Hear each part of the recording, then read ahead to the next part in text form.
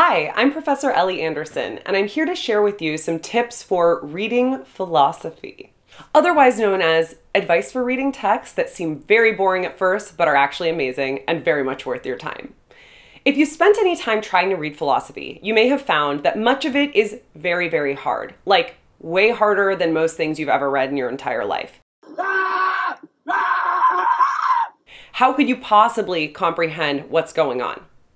Here's one of just many possible examples, opening to a random page of Hegel's Phenomenology of Spirit. Sensuous singularity, therefore, does indeed vanish in the dialectical movement of immediate certainty and becomes universality, but it becomes only sensuous universality. Or, let's open to a random page of Deleuze and Guattari's A Thousand Plateaus. Since every articulation is double, there is not an articulation of content and an articulation of an expression. The articulation of content is double in its own right and constitutes a relative expression within content. The articulation of expression is also double and constitutes a relative content within expression. So, how do we make sense of these? Now, the best way to do this is to learn from other people, right? Learn from somebody who has expertise in this area. Um, my YouTube lectures are all well and good, as are those of many others, but it's sometimes hard to separate what's legit from what's not legit. There's a lot of not legit stuff out there. So if you can enroll in some sort of course taught by somebody with expertise in this area, I would highly recommend doing so. You could also develop at least some sort of reading group, perhaps, with other people online.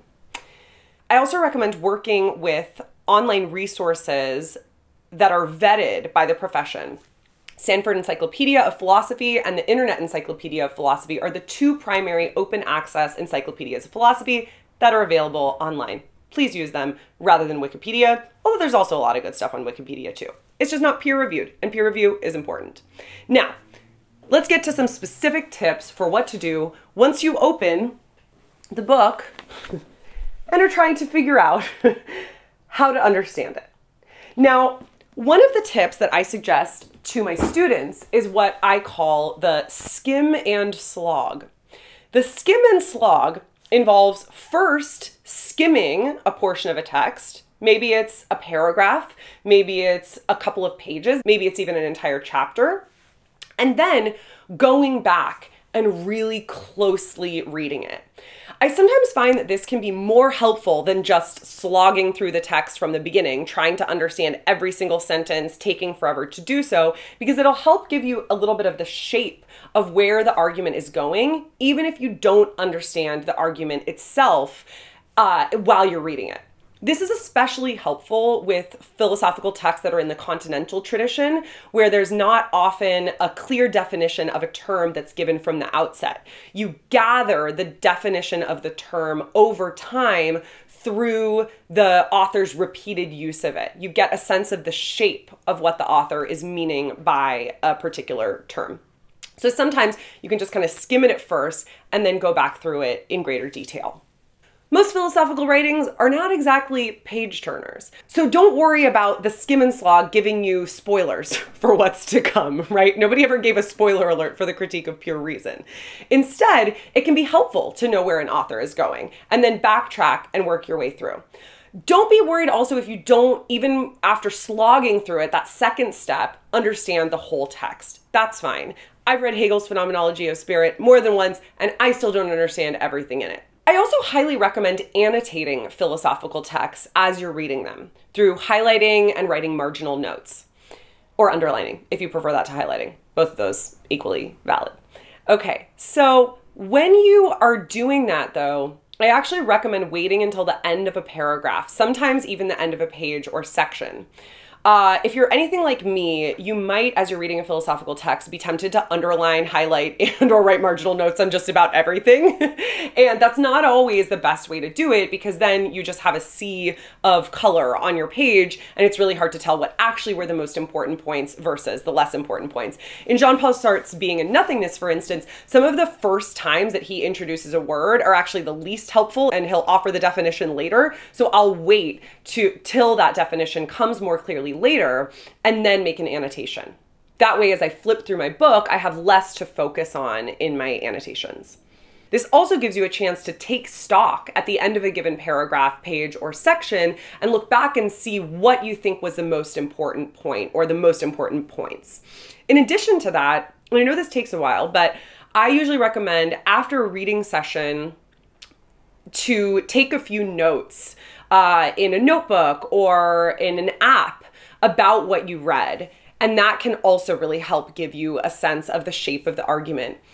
In addition to being helpful for knowing where the author is talking about certain things. So if you see a keyword appear early on and you have a note on that in your app, then you can go back and text search it later when you get to a different section that uses that. And you're like, where was that again? How is it defined? You can even juxtapose the different places that that keyword comes up and see how it's being used and defined in different ways, but complementary, hopefully, if the author's being consistent, ways throughout the text. Another recommendation for reading philosophy is to watch out for the logical moves that are being made. One of philosophy's greatest assets is its emphasis on the coherence of arguments. Arguments should be coherent, they should be valid, and they should be sound as you're reading, take note of how the author builds on one point and then moves to another. And you also might want to make a visual map of the list of premises that are being used. So the author says one thing, then builds on it with a second premise or makes a second premise that's related but not even necessarily building on it, and then moves to a conclusion. Really making notes of those, I think, can be helpful. And also look out for potential errors or logical fallacies, which you can find lists of online. Philosophers are not perfect. we, definitely make mistakes. And if you do find an error, then reflect on how much or how little of the argument this bears on. Does this error that you found in the argument actually undermine the author's whole claim? In a given section or a given text?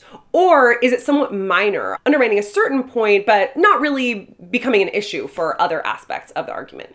This really aids critical thinking and forces you to find the parts of the argument that are doing the heavy lifting. All right, let's think about attention. It's very common when people are reading philosophy even seasoned readers of philosophy, to have the urge periodically to stop reading. Maybe you want to check your phone, maybe you actually hear a ding on your phone, or you want to get up and do something else and then come back to it. You're just kind of bored or impatient. That's okay. That urge is okay. I encourage you to resist the urge. Resist it the first time, resist it the second time. Maybe resist it the third time, but I'll leave that to you. Definitely resist it the first two times. Notice it and have a mindful moment of saying, hey, I'm experiencing some resistance to this text right now. I feel like I'm not really getting it. Um, or I'm bored, or I'm impatient. Just make a mental note of that and then continue reading. Resisting this urge builds up your stamina and allows you to get more deeply into the text. There have been studies of marathon runners that show that the body sends signals to the brain saying, I'm done, well before the body has actually run out of energy. So we have kind of a hair trigger for challenging tasks, especially in this day and age when our and attention is often so frenetically oriented in different directions. Marathon runners learn to ignore this inner voice of I'm done before the body is actually done and to develop a different sort of intuition when their body is actually running out of energy when it would be dangerous to continue running. I think you can do the same with philosophical reading. You can develop stamina. You can learn to ignore that inner voice of, I'm done. And then that will enable a different kind of intuition to kick in, which is the intuition of, no, no, no, I'm actually done now. um, I'm not going to get anywhere. I'm not in the right headspace to understand this piece of material at the moment. So try powering through the first and second urges to stop reading and then see where that gets you. Okay. Um, also, don't check your phone. Seriously, don't check your phone. This is hard for a lot of us, but we tend to think that a quick break to just respond to a text or check Google for something um, won't have any effect on our concentration. But studies show that they have way bigger differences than we realize. Even very short breaks greatly diminish our concentration. I'd suggest leaving your phone potentially an audible level or putting it on do not disturb, uh, but keeping it out of reach, or putting it on silent and stowing it altogether for a period of at least 25 minutes. I think 25 minutes is a good goal to set when you're first starting out reading philosophy.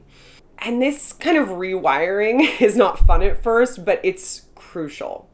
The next thing I'm going to suggest might initially seem at odds with what I've just been saying, but I don't think is at all. And this is to read the text in more than one sitting. Like I said, I think a period of 25 minutes can be a good general rule for people who are first starting to read philosophy. And then maybe you can build up to a couple of hours over time. But I think that you know it can be good to do even uh, even an essay in multiple reading sessions depending on the length and the level of difficulty. I sometimes find it helpful to have a short first session where I skim the text and then read the first few pages. Then I take a break and then I can come back to it later to read more thoroughly and take notes on it. And again, this depends a lot on the length of the text, right? What I just said might apply more to an essay. And if you're reading one of these two texts or something like it, it might take you a year and that's fine. Uh, another note is learn to swim. I remember when I was first reading Kant and finding it impossible to understand that somebody suggested to me that once you actually figure out the basic rhythms of Kant's movements in the arguments, he's really easy to read. he's actually kind of repetitive and he's pretty consistent. Uh, that's pretty consistent. He's unusually consistent. Maybe not entirely consistent all the time, but he's a very consistent thinker. And that really catalyzed my sense of confidence in reading Kant what I found was that I was learning to swim in the waters of Kant's prose. And different thinkers have different waters, right? Some might be uh, really hardcore waves off the coast of Portugal that you, you need to learn uh, to stay afloat in. Others might be more of a peaceful, lazy river. That would be perhaps Heraclitus. Not a lazy river, but at least not peaceful either, actually but a river. Heraclitus is a river, a rushing, rushing river. Uh, maybe Rousseau is a peaceful, lazy river. In any case, what I've often found is that approaching a text this way means that some of the texts that appear hardest to read at first end up actually being among the easiest over time because they have a consistent pattern, a consistent flow. What's necessary is the patience to learn to swim, to figure out the flow of a given philosopher's approach. Once you get used to it, you'll be swimming with the current so easily that you'll practically be floating. I want to end just by urging you to read philosophy. because as wonderful as it is to have YouTube lectures, to have podcasts, I co host Overthink Podcast, which is meant to be accessible for non specialists, to have different online written resources that help you make sense of philosophy.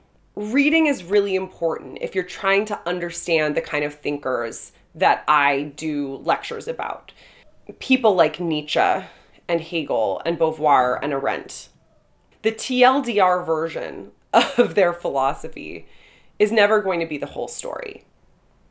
And so I hope that you can see the online lectures and other resources as an aid in your reading, perhaps as inspiration to read the thinkers, and then start the skim and slog, start swimming in the waters yourself.